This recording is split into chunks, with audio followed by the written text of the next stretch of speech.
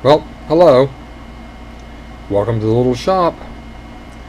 Today we get to work on a Stratocaster. This is one of those really special stories that uh, I hope you enjoy. This was actually gifted to one of my regular customers. And something I learned a long time ago, just like there's no such thing as a free guitar, there's no such thing as a free puppy, free car, anything. Nothing's free. So, what you don't know at this point is I've already got like an hour and a half in this guitar. It was very filthy, a bit of a mess everywhere. Fingerboard was caked with crud. So I got it cleaned up, all put back together. Like I say, it had the bridge entirely apart. That's why all the saddles are straight. I always set them as far back as I can to start with. Yeah, when I'm starting to work on it. Uh, as I adjust the height and intonation, that will all fall into place. I actually had the saddles off so I could tighten up the bolts for the tremolo block and all that. We've cleaned electronics, cleaned output jack, had to replace a couple bolts that were missing in the one pickup. Like I say, just give it a thorough overall cleaning. This got a good scrubbing with 409. Anyway, so I start to set up the guitar and run into a problem. As it turns out, there's a good indication of it. See how roughed up around the truss rod nut slot it is? Someone has stripped out the truss rod nut. I see this a lot on these fenders. I see it way too much. Thankfully, I have a cure for it over here. Courtesy of uh, Darren Riley, in North Carolina. Oh, hey, by the way, um, for you guys like me that uh, doesn't have much to do with Fender, frankly, I'm still waiting for Fender to pay me for warranty work that was done in the 70s. I don't think it's going to happen. Anyway, uh, Darren's a really good source. He's in North Carolina. Uh, DarrenRiley.com for Fender parts. Got a lot of stuff. Not just Fender parts. He's got a lot of good stuff. Darren's a good guy. He ships fast. You know, it's just a good point for you. So, that being said, I have my new truss rod nuts. I have the fillers and the washers. Of course, there's a few extra washers there that I keep on hand for other things. So, what we have to do, let's go back up here. What we have to do is heat up this area and pull that insert, which will allow us to take the nut out, replace the stripped out nut, and then replace the insert and all that. So we're going to heat it up and try to get all that out. First thing we're going to do is take my X-Acto knife and cut just around the outside of that inlay. Hopefully it'll slide out without chipping any finish. We're going to do that with a couple of little tools I've made. Let me uh, get everything together here and I'll show you. What I am planning on doing here is using a little metal insert I've made. I made this several years ago. It's just a piece of 3 16 steel tubing. Actually, this is music wire. It's very hard. The plan is, is to heat this up well my big soldering iron. I left it long to, so it hold more heat. I want to heat up this area where the plug's glued in. And if we're really lucky, it'll slide right out. If we're very lucky, we'll be able to reuse it. So we'll see how that turns out. So away we go. Okay, I found my pointer. Anyway, man, it's been a day. Anyway, so you see I've added some uh, loosely adhered aluminum tape here to kind of act as the heat deflector. There shouldn't be that much heat, but yeah, we're just not going to take any chances. Got my rod in here. I've got my iron. So I'm going to do this in my little 40 watt weller here. And what we're going to do is put a little solder on it so it'll heat better. We're going to start heating. So we're going to heat this up here a bit. It's going to take a few minutes. When this gets nice and warm back here, we'll see what happens. Like I say, we're very lucky. All this come out well. If not, I'm going to have to resort to uh, heavier tools like easy outs and screw extractors get this nut out. Hopefully there's enough teeth left on the Allen wrench socket on it to put negative pressure on it.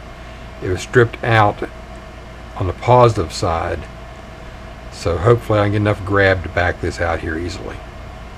So we're going to see what happens. Okay. That ought to be enough of that. Let's see what happens here.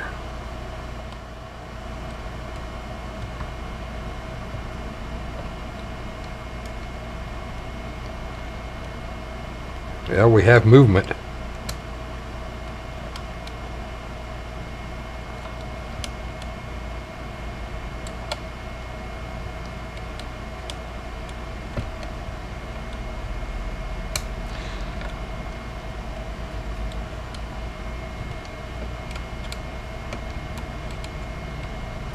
Think this is going to work out. It slipped once.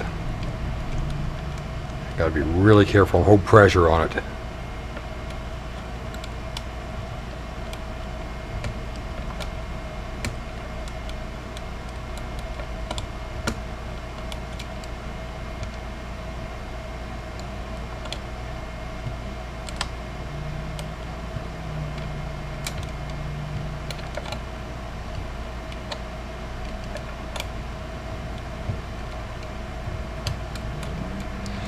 This could be worse.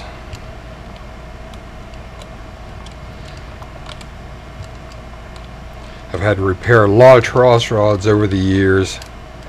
And I say, this, uh, when this goes this well, this is a blessing. I've had to take lots of fingerboards off, take lots of Gibson style truss rods out, make truss rods.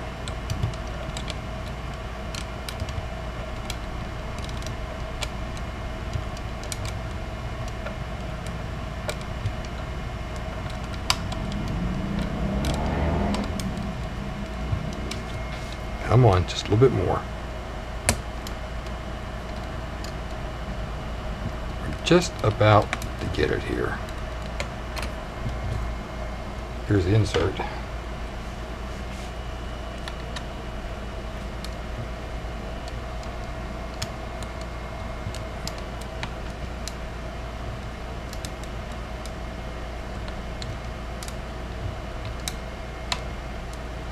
Okay, well the nut's loose, but it's not coming out. Okay. Well, like I say, this is out, so that's a start. I think I clean that up and reuse it. I'll be back. Okay. Sneaky trick number 502.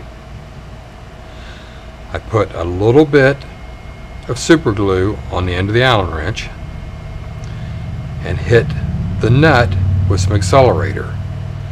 I put the wrench in the nut and gave it a few minutes to set up. So let's see what happens here.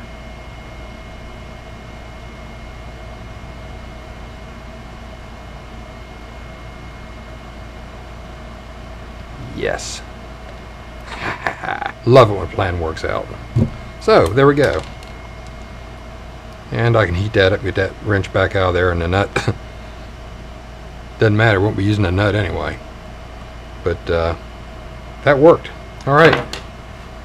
So now, let's get on with the uh, new nut. So just to point something out here to you, uh, this is the fender wrench. Uh, I actually have filed the end of it back a little bit to get a good sharp clean edge on it. They're a little longer than a regular wrench uh, to be used that way. This is, is actually supposed to go in there, but you see it's pretty much worn. Uh, here is the heart of the problem. That really doesn't fit well. So it doesn't take a whole lot to strip it out.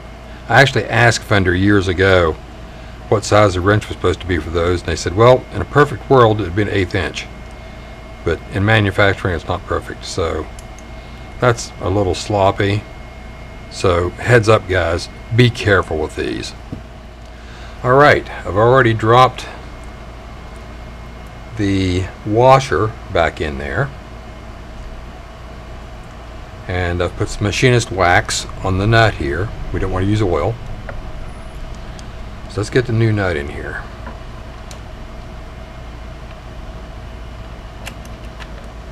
Like I say, we can be careful doing this, but we don't have any tension on it, so that works for us too.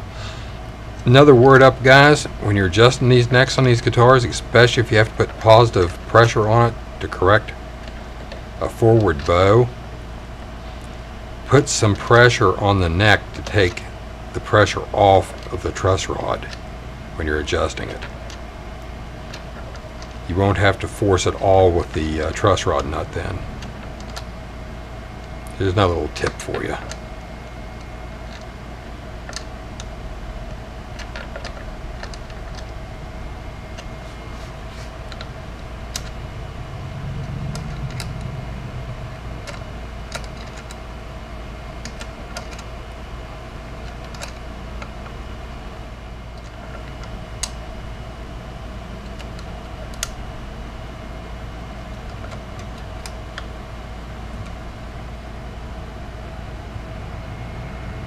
Okay, nuts back in. We've got a little tension on it. So let's turn our attention to cleaning this back up. And we're going to get it back in. All right, well, we've got everything cleaned up here. Get some Titebond here on this plug.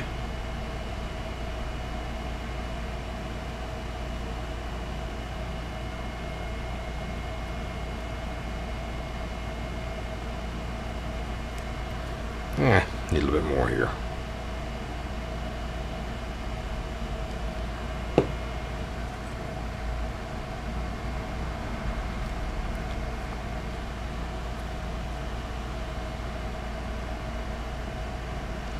Get that uh, started and get my hands wiped off.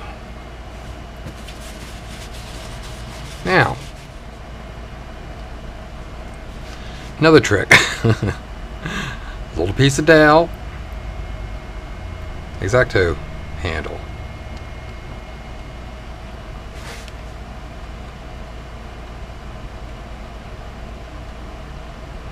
Come on, baby.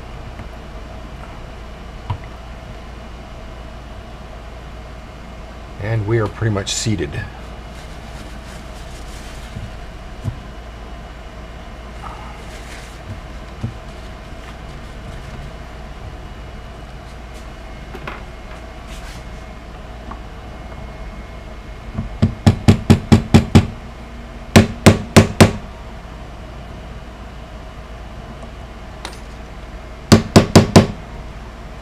There we go.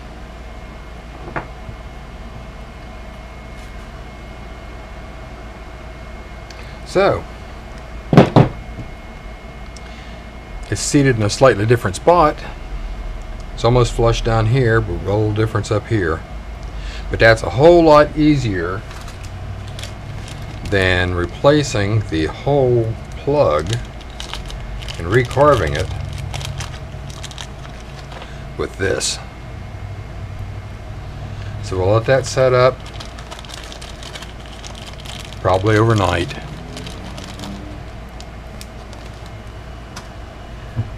And we'll trim all this up and get it finished up. I'm going to go ahead and clean some of this up here. and then continue on later. But I can get the bulk of a lot of this off here tonight. Uh, it's not moving anywhere, it's glued in. So I can do some of this tonight.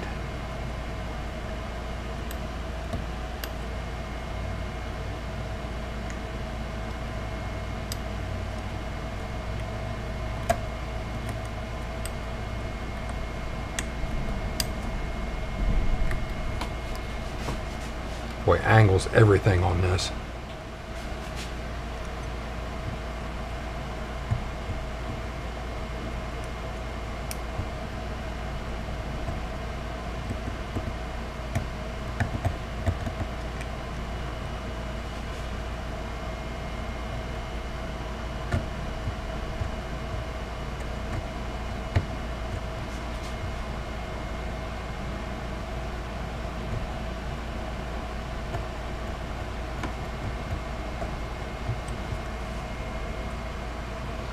Say came pretty close to fitting.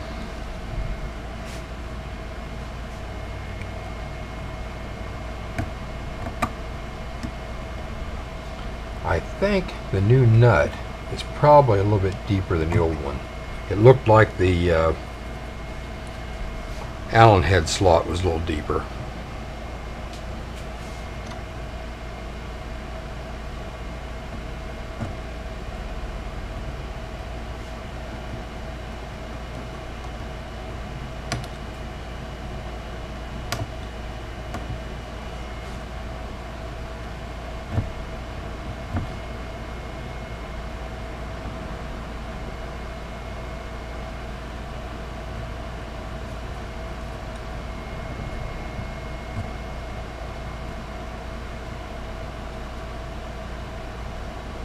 Yeah. Rough cut.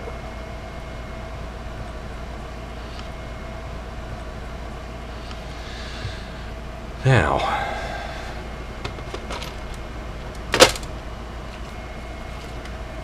this and this.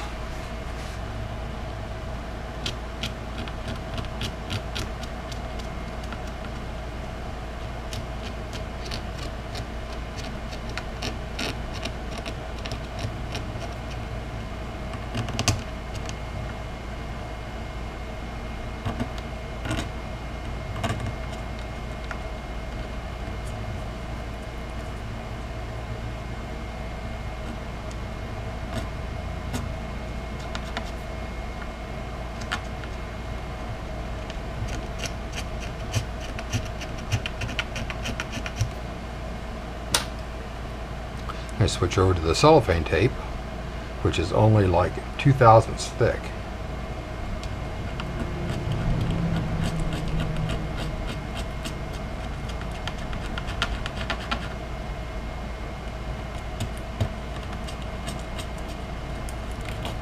There. We're all flush. Just a little sanding on that. We're ready to start touching stuff up.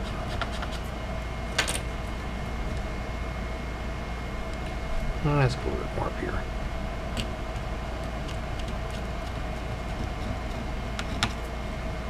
There we go.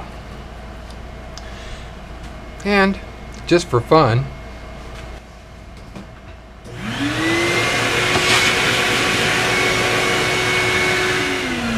let's see if our Nickelback bow.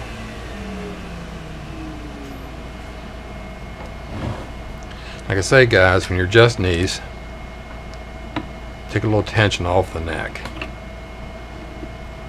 Don't make the rod do it all.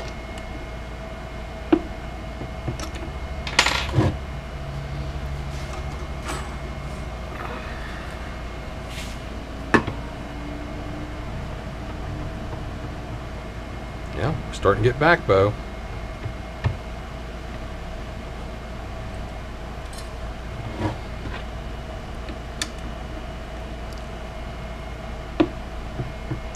So that means our truss rod is now working.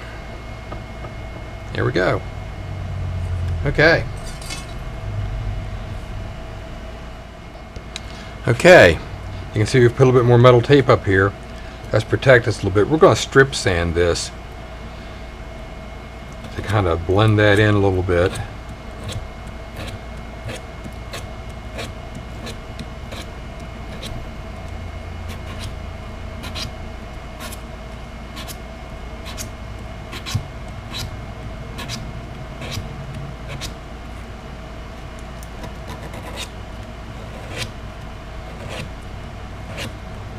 and we're all nice and flush, we can quit.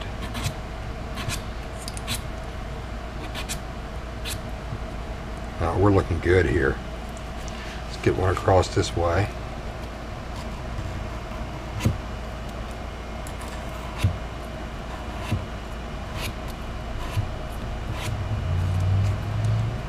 Get one up this way.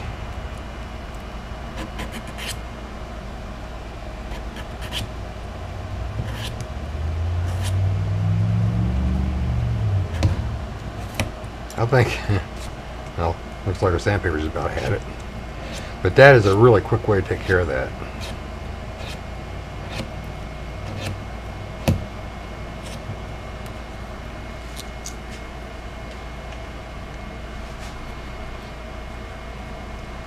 While we're at it, look at that little piece of 400 too.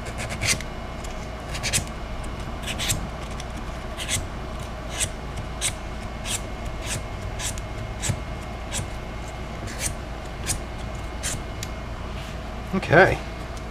That's that.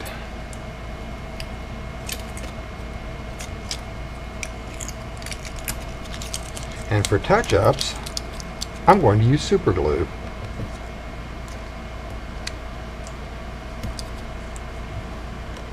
So I want to wipe that down with some naphtha and clean everything up there.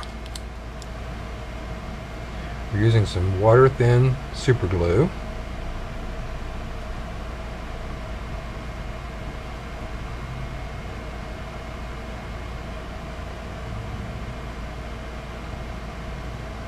It will melt into the old finish rather well.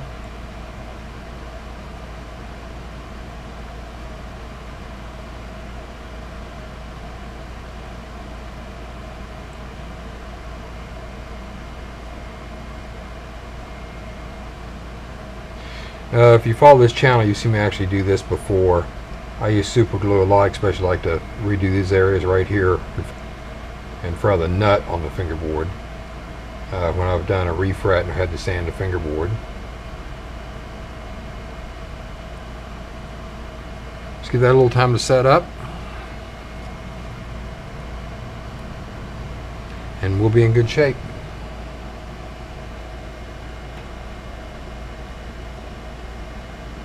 We can sand that down and buff it out. Nobody will ever know we were here. No, except for you guys.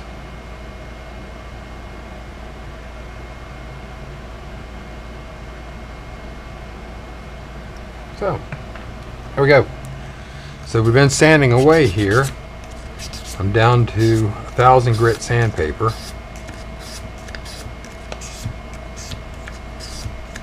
There's a little chip over here I'm taking care of too while I'm at it.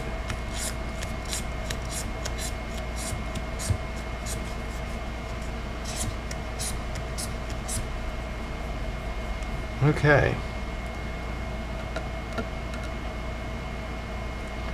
I'm going to need some 2000 grit.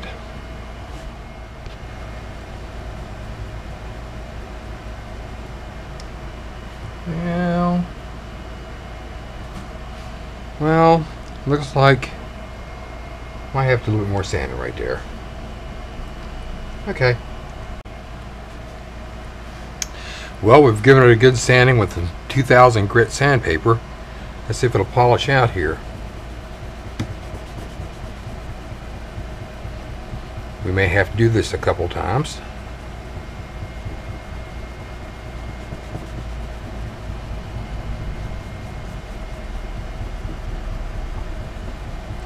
What I'm actually using here is a little bit of uh, turtle wax liquid polishing compound and a cloth diaper.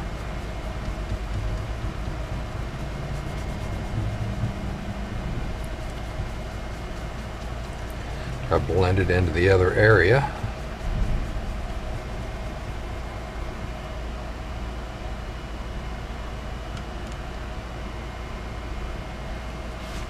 It's looking pretty good. All right. This is looking pretty good.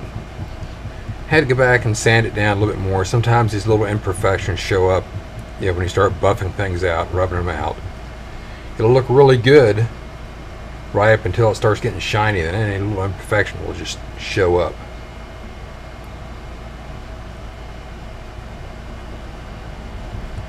But I think we're just about to call this done. We're looking real good.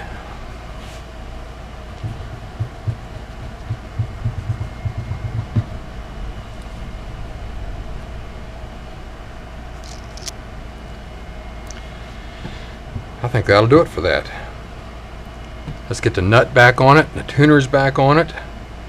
Let's get it strung back up. And there we go.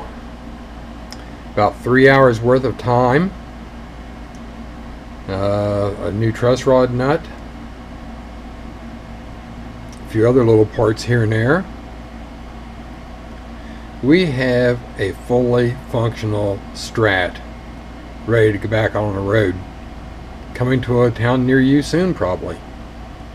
Anyway,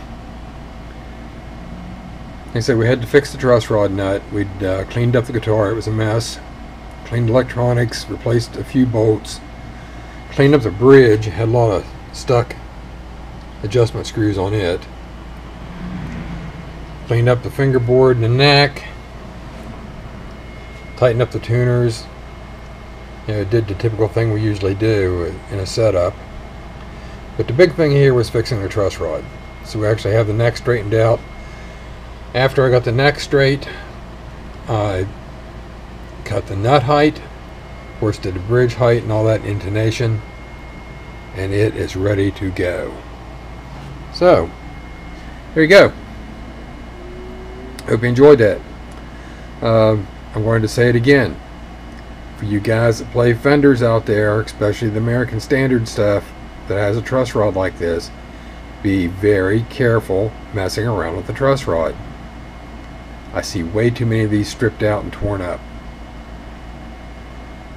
So anyway, until next time, play nice,